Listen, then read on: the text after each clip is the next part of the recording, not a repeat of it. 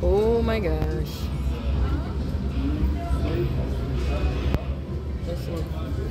What the heck? It's a lava cake.